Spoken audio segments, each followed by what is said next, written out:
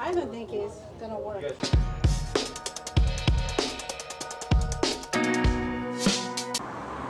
We are at Dan Tana's restaurant in West Hollywood.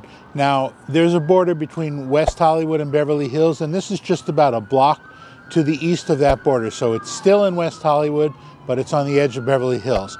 It is a very popular restaurant. It's been around for at least 60 years, maybe longer. I can't remember exactly what.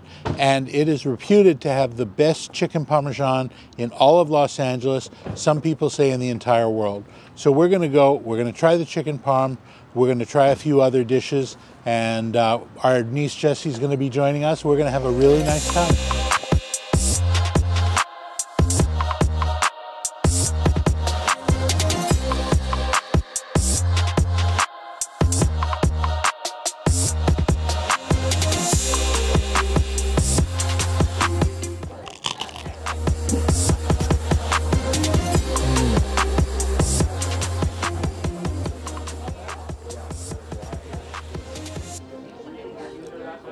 That is a delicious, cheesy, garlicky garlic bread. It's on sourdough.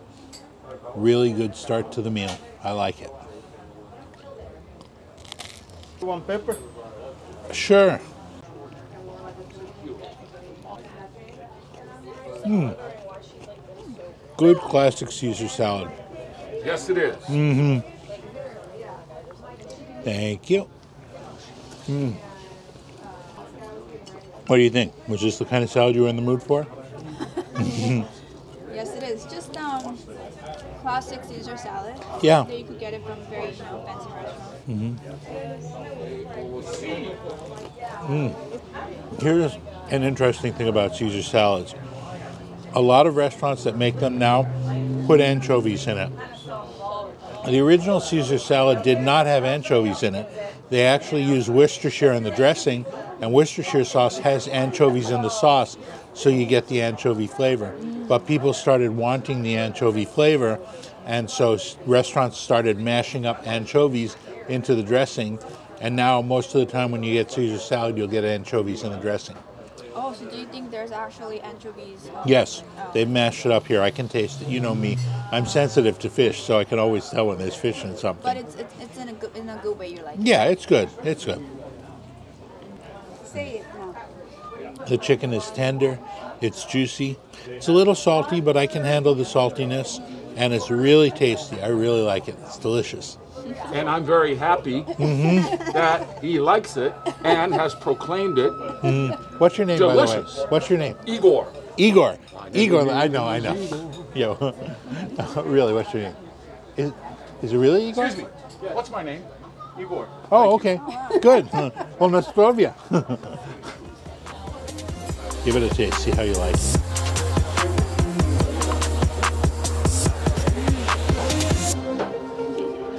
Is that a mild fish? White fish is usually very mild. Very mild.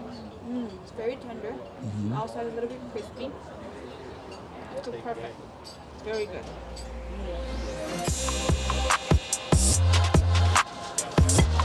We are very happy with our meal here. Delicious.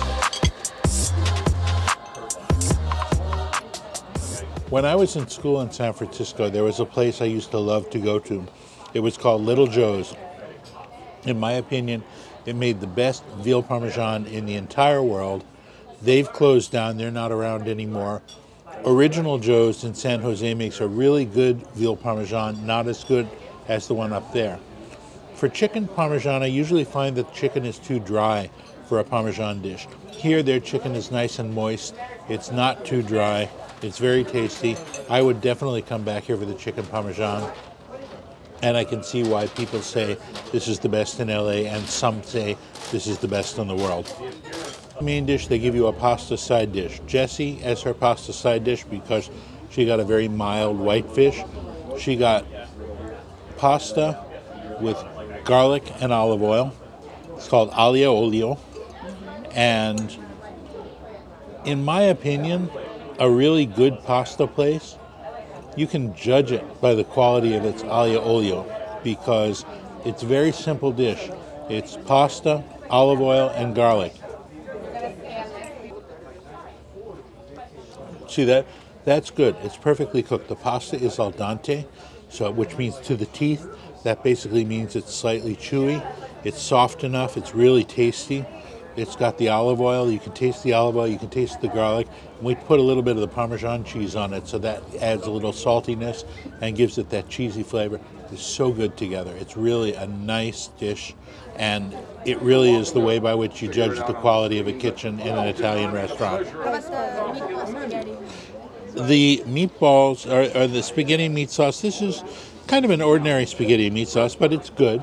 I mean, if I were in the mood for just spaghetti and meat sauce, this would fill the bill.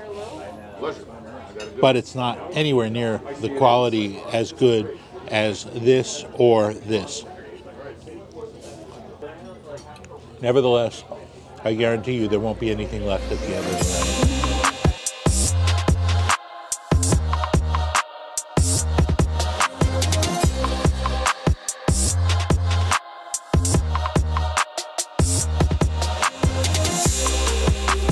Jessie got the honey lavender, which apparently is one of her favorite flavors here at Salt and Straw. And I got the sea salt The sea salt. Oh, okay. Yeah. This is their number one flavor here. Mm-hmm. Now I got the sea salt caramel and the malted chocolate chip cookie dough. Mmm. That's really good. Yeah. I think that's sea salt, huh? Yeah. The first time Young and I ever tried salt and straw, we were on the Bay Area Peninsula. And we were doing a day trip up there and we stopped into the salt and straw up there. We had some very unusual flavors, decided we loved it. And then we saw it again when we were in Seattle and we tried it there and it's just as good.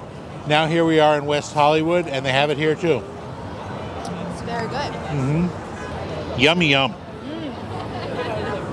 Honey lavender is very floral. Mm-hmm. Right? What a shame, Young, you won't be able to have any. So we finished up dinner. We were very happy with the dinner. The service was great. The food was delicious. We're definitely coming back to Dan Tana's. And since we ended a little early in the night, we decided to do a little walk along the street here.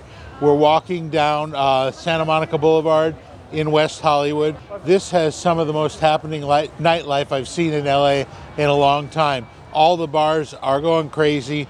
You know, there's there's lots of guys, lots of women. There's a lot of fun happening. The good restaurants, there's a lot of good restaurants here. This is definitely a good place to come if you're looking for a lively nightlife and good restaurants. You should come here. We enjoyed it. We're coming back.